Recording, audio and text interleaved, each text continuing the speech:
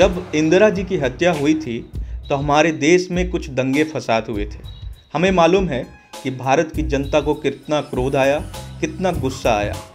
कुछ दिनों के लिए लोगों को लगा कि भारत हिल रहा है। जब भी कोई बड़ा पेड़ गिरता है तो धरती थोड़ी हिलती है। 19 नवंबर साल उन्नीस सौ चौरासी को तत्कालीन प्रधानमंत्री और इंदिरा गांधी के बेटे राजीव गांधी ने यह बात बोट क्लब के इकट्ठा हुए लोगों के हजूम के सामने कही थी।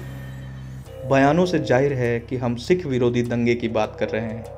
आज इसकी चर्चा इसलिए क्योंकि इस दंगे के आरोपी कांग्रेसी नेता सज्जन कुमार को 34 सालों के बाद तिहत्तर साल की उम्र में उम्र कैद की सजा सुनाई गई। दिल्ली हाई कोर्ट ने निचली अदालत के उस फैसले को पलट दिया, जिसमें जज जे आर आर्यन ने सज्जन कुमार को बरी किया था, जबकि उसके दो साथी पूर्व विधायक महेंद्र यादव और पूर्व पार्षद बलराम खोखर को उम्र कैद और तीन अन्य को तीन साल की सजा सुनाई गई थी। सिख विरोधी दंगे की कई कहानियाँ हैं। कई लोगों ने अपनी आँखों के सामने अपनों को मरता देखा, ज़िंदा जलता देखा है। भारतीय वायुसेना के ग्रुप कैप्टन मनमोहन वीर सिंह तलवार इन पीड़ितों में शामिल थे। उन्हें वर्ष 1971 में महावीर चक्र से सम्मानित किया गया था।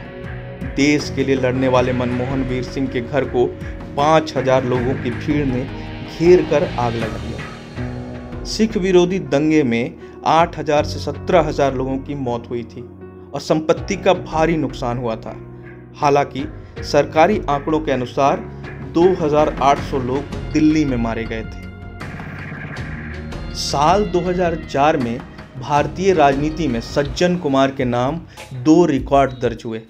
पहला तो देश भर में लोकसभा चुनाव में सबसे अधिक मत पाने का रिकॉर्ड और दूसरा, दिल्ली में सबसे अधिक मतों से चुनाव जीतने का रिकॉर्ड।